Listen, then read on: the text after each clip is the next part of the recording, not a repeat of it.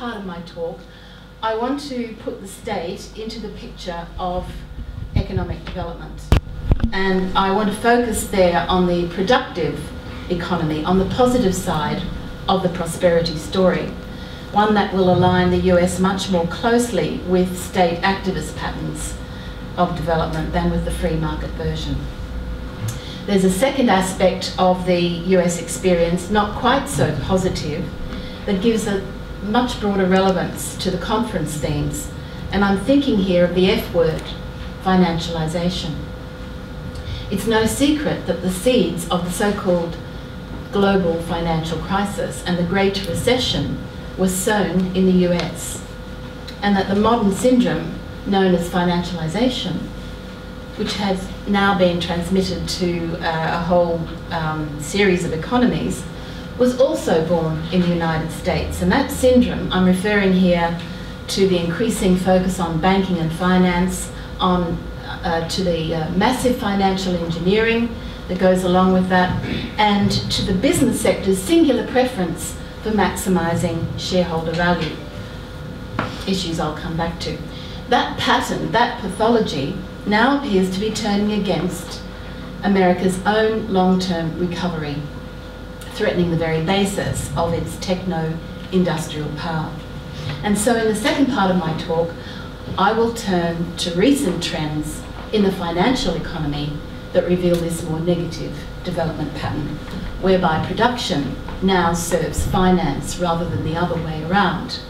And since that pattern has serious consequences for economic prosperity, for job creating growth, and income distribution, there are clearly wider implications of the US experience for other countries. Uh, back to that later. It'd be remiss of me not to mention that my talk draws on the argument of my new book. You can hold that up if you like, Penny.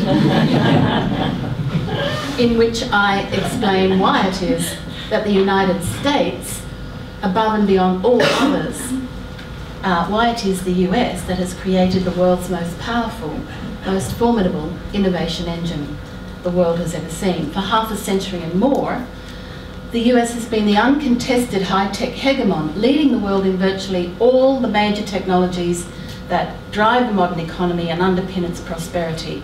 Think uh, communication satellites, think uh, software and computing and biotech and the internet, and the list goes on.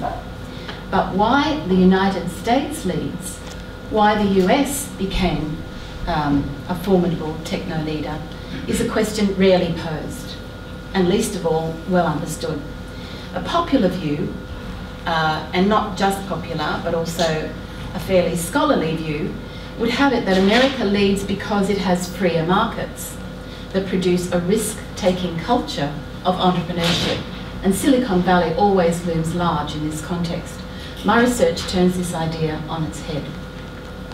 America leads because its entrepreneurial class has a risk-taking state.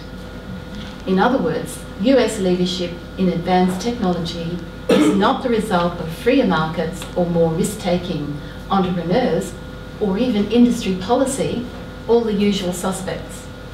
It is instead the creation of a national security state that has institutionalized technological supremacy as a national security imperative, as a strategic response to a series of perceived geopolitical threats sustained, which have been sustained over a very long period that began with the onset of the Cold War and has continued right up until 9-11 and beyond.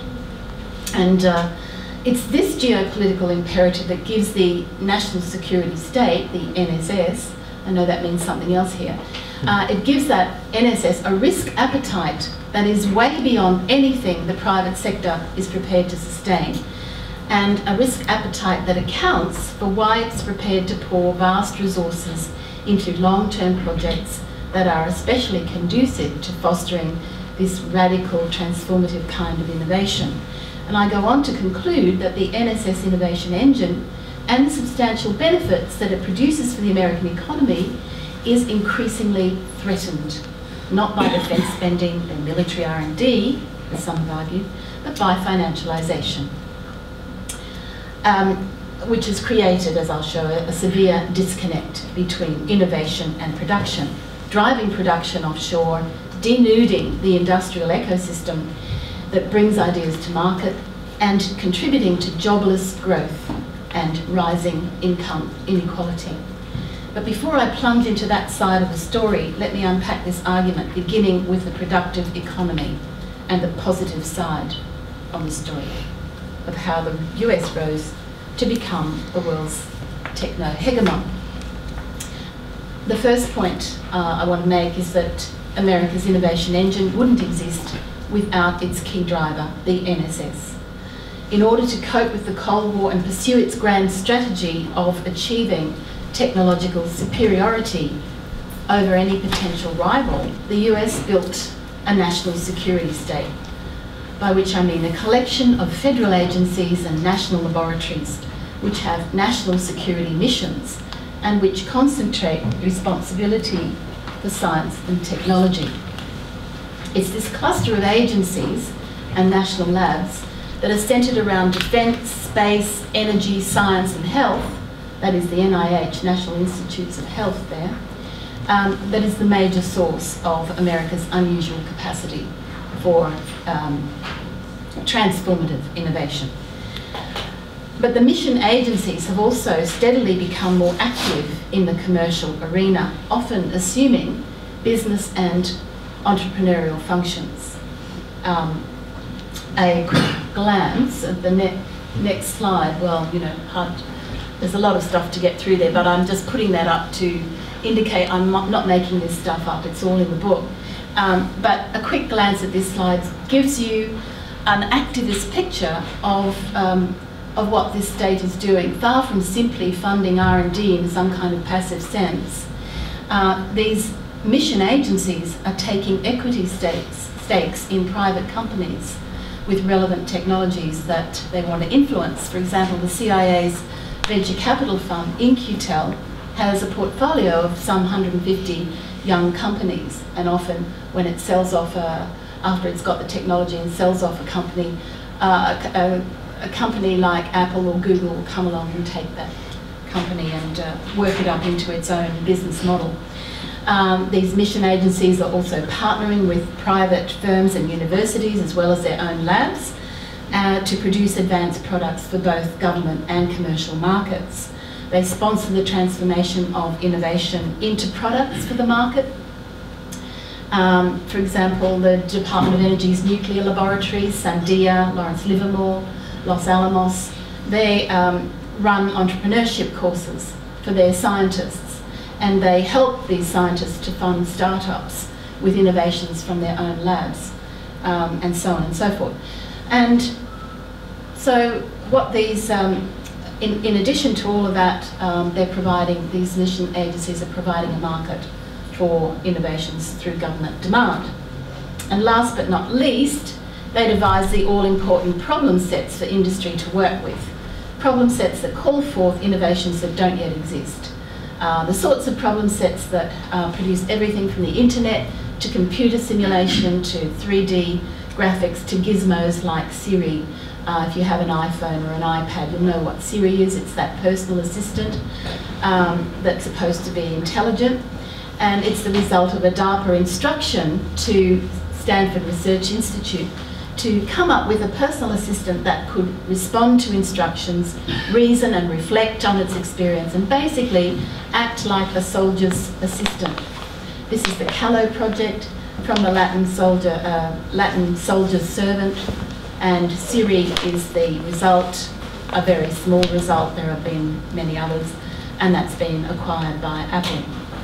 So this NSS-led innovation system now reaches into the furthest corners of the commercial sector, of the private commercial sector.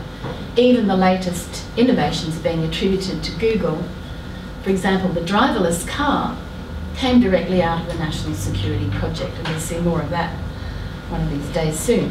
The second point I want to make is that geopolitics, not industry policy, is the main driver behind this enormous technology enterprise. Not aimed at competitiveness, but the motivating force is the perception of sustained uh, threats to national security. This whole NSS enterprise had its beginnings at the onset of the Cold War when planners in the Pentagon announced that they could never hope to match the Soviets with um, sheer quantity of armaments, of men and material. Instead, they said they'd have to rely on achieving technological superiority over any potential rival. And that strategic imperative has driven federal governments to embrace both universities and industry as partners early on in this enterprise and has led government to create technology intensive agencies like DARPA and NASA with a mission to prevent what's called technological surprise. Surprise of the kind that was generated with, uh, by Russia's launch of Sputnik, the world's first satellite, in 1958. So its rivalry with the Soviet Union and the fear of being left behind in the innovation stakes that's helped kickstart a whole uh, gamut of, of programs, um, including a program in 1958 to create a modern venture capital industry to spur innovation, which as late as 1984, this program, when Silicon Valley was already in full swing, still provided three quarters of all venture capital in the United States. And so what I'm saying is that national security lies at the origins, not just of the modern venture capital industry, it's the missing link in that story, but it also lies at the origins of America's post-war development more generally. Um, and some have leapt to the conclusion that the US is thereby preaching free market ideology while actually doing industry policy beneath the radar. But uh, it's worth pointing out that anti-statism is so strongly embedded as political ethos and institution in the American political economy that any program that smacks of industry support is strongly opposed, um, certainly by Congress and more broadly than that, and invariably short-lived. And in any case, the NSS has reoriented its tech programs in a quite openly commercial direction since the 1980s. That's a complex story um, but one important catalyst has been the defection, the defection of the country's most advanced technology suppliers from the government market to the more profitable commercial markets.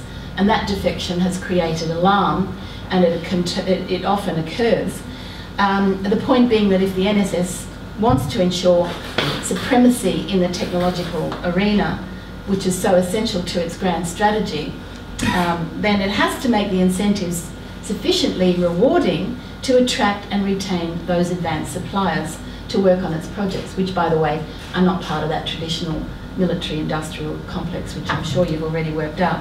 And so its technology programs have increasingly offered the incentive of a commercial product at the end of the government contract by emphasising dual use. So for instance, if a firm works with an agency to create a technology for use by the Army, say, or by the Department of Energy, um, it will also be encouraged from the outset of that project to create a similar project product for the um, commercial market. And in that way, and many, many more which I discuss in the book, the NSS has been increasingly drawn into uh, promoting commercial innovation. So, when discussing America's productive economy, including Silicon Valley and its many IT giants, we have to factor in the past and the present role of the NSS. Without the geopolitical stimulus, without the national security logic, and the quest for technological superiority, the US innovation engine would not exist in its present form the US would not have the risk appetite that produces transformative innovation. It would be just like any other advanced country, which is not to say that it's the only kind of innovation that matters to economic development, or indeed to advocate a national security state as the driver of innovation. Uh, heaven forbid, it has its own costs and distortions, but rather to indicate that the US is distinctive not because its productive economy has freer markets or more freewheeling entrepreneurs or even more inventive entrepreneurs, but rather because it has a highly active, highly motivated, risk-taking state. So I want to now change gear and turn to the financial side of the story. US power, I suggest, has reached a turning point. And the problem that I want to draw attention to is the disconnect between innovation and production that has taken place as a result of financialisation. And that's a disconnect whose broader, whose impacts have broader lessons. One of my conclusions is that the greatest threat to the US innovation engine comes not from a high level of spending on defence or on military R&D, as some have suggested, but from a particular wholly modern form of financialisation. This is the financialization of the US corporation, not just the US corporation, but in this story it is. Um, it is an all-American invention, and it promotes and rewards uh, the maximising of shareholder value, MSV it's called sometimes for short, um, as the supreme goal of the American company. We say the corporation has become financialised when its primary goal is no longer to invest in productive assets like innovation or R&D or new and improved products, but instead when it focuses on ways and means to maximise its share price. This has become an enormous issue. The most recent manifestation of the US mania for MSV has been brought to light with startling clarity by former Harvard professor Bill Lazonick. Um, he documents how companies are pouring their profits into share buybacks in the trillions of dollars, a trend that has really taken off in the last decade. But there's an earlier trend, and it's closely connected to this buyback mania that began sometime in the 1980s, also when public policies became supportive in various ways. And this trend continues right up to the present, and this is the company's downsize and distribute strategy, um, which is to say that the pressure to maximise shareholder value drives the business sector to downsize to reduce its workforce and to distribute, outsource its production to suppliers in foreign locations. This is the so-called offshoring of production, which all of us know about here. One indicator of this offshoring trend is the state of US business investment abroad. No, sorry, at home. Uh, now ranked lower than in every other advanced country, just ahead of uh, Burma at 135th position um, according to CIA data. Another indicator is the state of US employment, with severe consequences for, for income distribution. Uh, for example, Foxconn, the Taiwanese um, computer and mobile phone manufacturer, which figures prominently in the US supply chain, now employs more people in China than Apple, Dell, Microsoft, Cisco, Intel and Hewlett Packard combined employ in the United States. So, in a typical move, a company, say Hewlett Packard, will retrench its manufacturing workforce, and with the funds released, it will buy back its own stock, which then drives up the share price somehow or other. I don't quite know how that works, but the top management executives whose remuneration is linked to the share price will then receive bonuses and or uh, cash in their stock options and the company finally will outsource production, its production needs, to foreign uh, suppliers. Okay, so yes, we know firms in all advanced countries uh, offshore some of their production to take advantage of global value chains. There's a huge literature on that. The point is that US companies have been the strongest practitioners of downsizing the labour force and distributing production to suppliers in foreign parts of the world. and not coincidentally, they've been the strongest enthusiasts for ma maximising shareholder value. Uh, an ideology apparently invented by a Harvard um, Business School guru. The upshot is that US companies have increasingly abandoned manufacturing.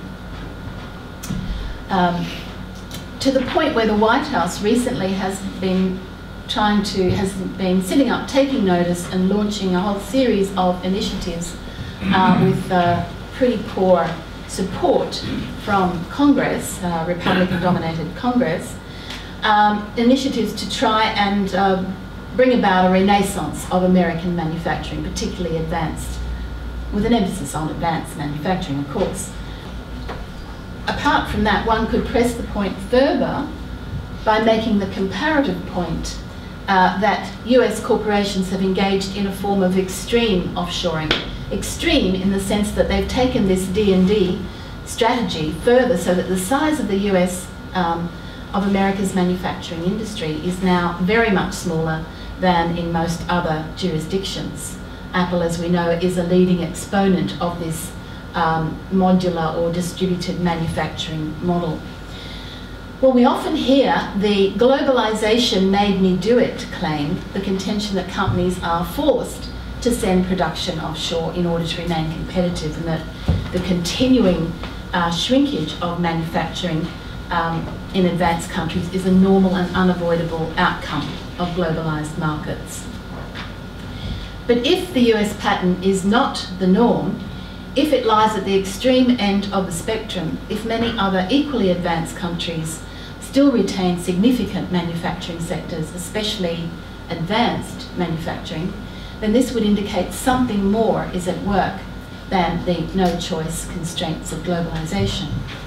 And that something more I suggest is financial is pressure from US financial institutions for which there's mounting evidence, a pressure that's exerted even at the startup phase so that as Intel's former CEO uh, and Andy Grove comments or reports, a key question that the US venture capitalist typically puts to the uh, startup entrepreneur is what's your China strategy?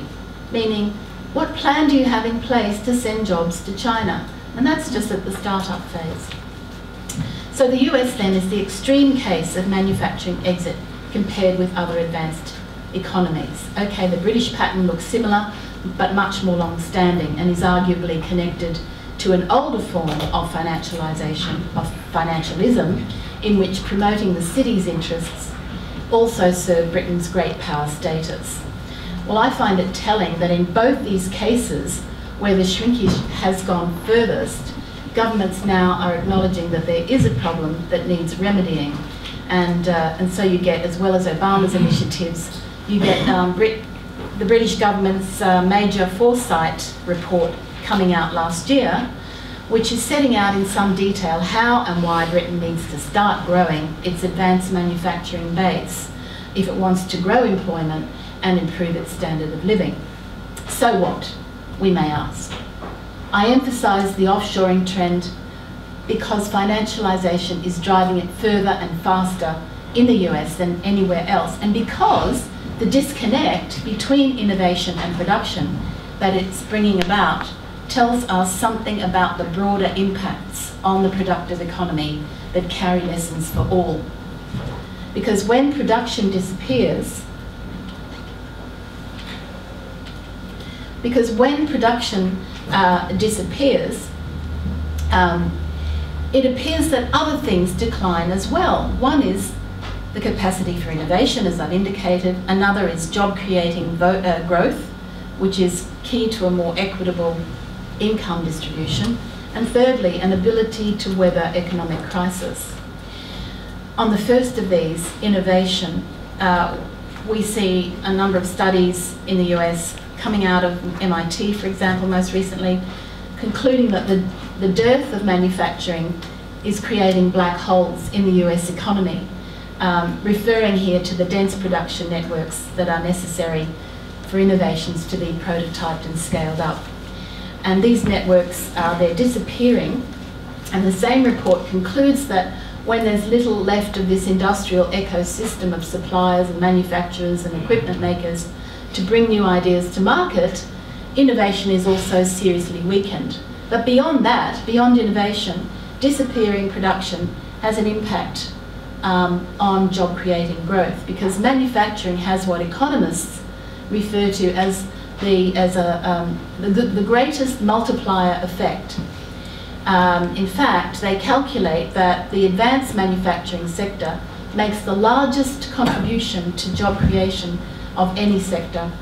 For every production job, somewhere between another 3 and 15 are created.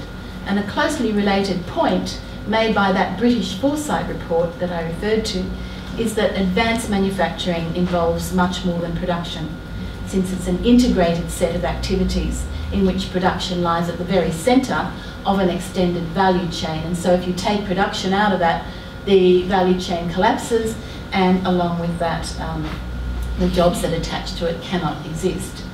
A final effect of declining production that I want to mention, one that would repay much more systematic comparative research, is the idea that a healthy manufacturing base provides a shock absorber against economic crisis. Countries with healthy manufacturing sectors, notably those which have reined in financial excess, um, uh, Korea, Japan, Germany, Sweden, for instance, all bounce back relatively quickly as um, demand for their output recovered at home and abroad and not least because their financial institutions have been better regulated to serve the productive economy rather than being allowed to become its freewheeling master. So, uh, to just um, conclude, um, I think that telling the US story of transformative innovation confirms the more general point that's been advanced in a series of studies namely that the state remains a vital actor in helping to shift the economy up the development ladder. And that's a principle that applies every bit as much to the world's most advanced political economy in spite of its foundational narrative.